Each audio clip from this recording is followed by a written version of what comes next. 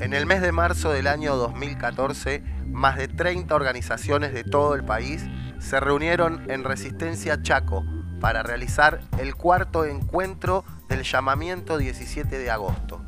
Voces en Resistencia estuvo cubriendo todo el encuentro y sus protagonistas nos cuentan cómo se desarrolló esta actividad. Que es un encuentro donde eh, nos estamos convocando todos los luchadores del país, o gran parte por lo menos. La herramienta política que se ha empezado a construir es embrionaria todavía y es algo que eh, empezamos a debatir hoy en este cuarto encuentro que realizamos.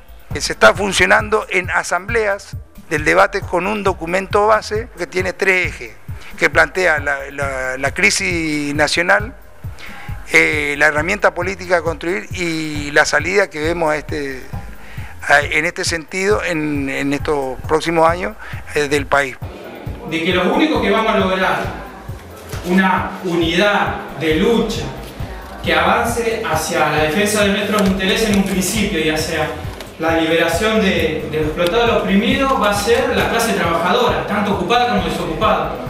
O sea, a lo largo y ancho del país se da un montón de luchas económica, ambientalista, por salario, por el agua, por la tierra, por distintas reivindicaciones que son justas.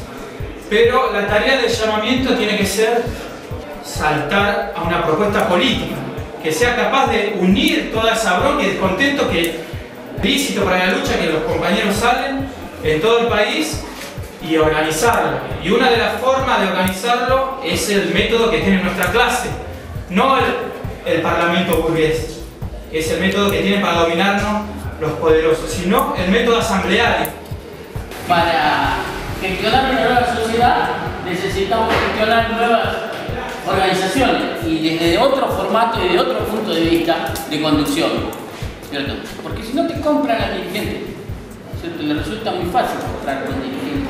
Compartiendo un congreso muy importante eh, de trabajadores de de, todos los rubros. Tenemos eh, albañiles, metalúrgicos, docentes, empleados públicos.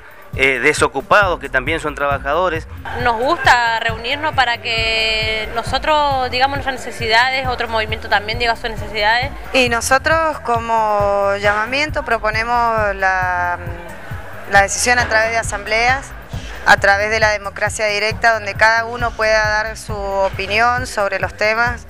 Se propone otro, otro sistema, un sistema social digamos donde los protagonistas digamos este, que somos lo que producimos, lo que llevamos adelante el país, somos lo que gocemos digamos de lo que producimos donde, como planteaba la compañera, no, dañemos la naturaleza, que la sepamos utilizar en su justa medida. De, la universidad, eh, quizá tenemos una consigna que es en, la, en las aulas y en las calles. Eh, por lo tanto, nosotros eh, no solamente intentamos dar un debate académico y un debate dentro de la universidad, sino también entendemos que el cambio va a ser a, nivel de, de la sociedad en su conjunto. Entendemos el llamamiento como una propuesta hacia lo que es el pueblo que consta de un programa, un programa político, donde ahí se quedan un poco plasmadas los problemas que hoy tenemos como pueblo y hoy entendemos que desde nuestro lugar tenemos que abonar la unidad de las distintas luchas que se desprenden a lo largo del país.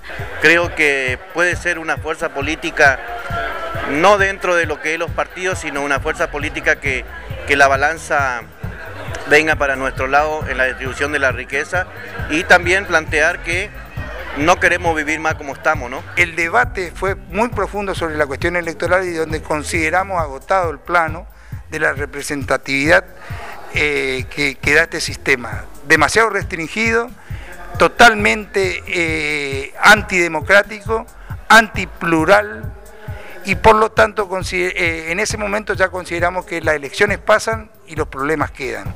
Nosotros creemos que el llamamiento es la nueva instancia a construir por fuera de la institucionalidad burguesa concretamente.